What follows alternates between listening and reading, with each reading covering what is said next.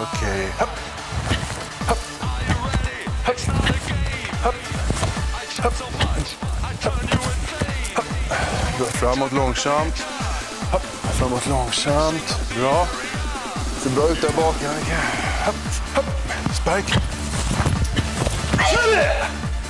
Måste skrika också. Framåt långsamt.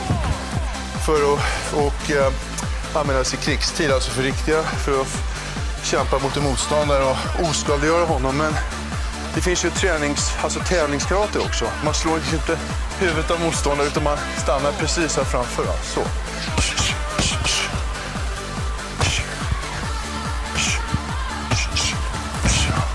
Så, okej. Okay,